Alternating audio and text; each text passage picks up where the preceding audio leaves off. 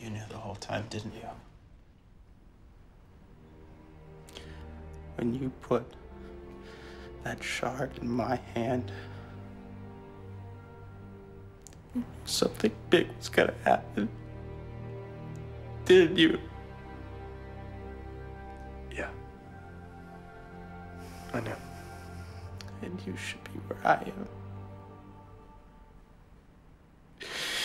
You should be where I am.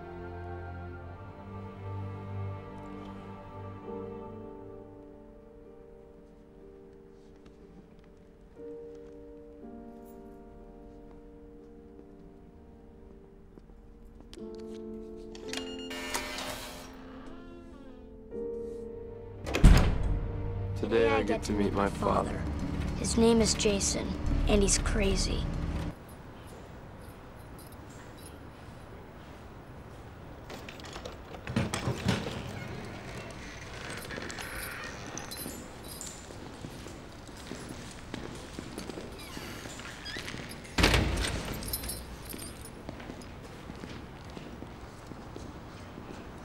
It's okay, I won't bite. You've seen pictures of me, right? Uh-huh. Mom says I have your smile and your hair. Me call him Dad. You okay? Because you look like you went somewhere else there for a second. Look, Jason, I need some fast answers from you if I'm ever gonna fix what I've done. I was praying this curse would have ended with me. Yeah, but it didn't.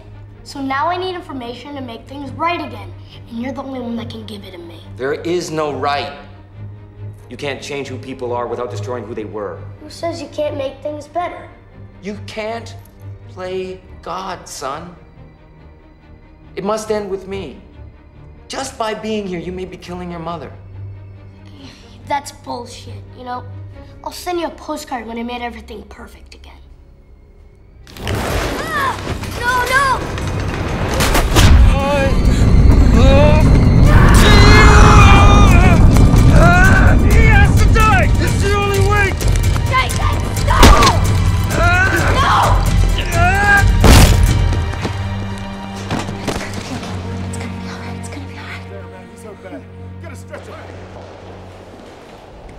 Come on, let's get him out of here.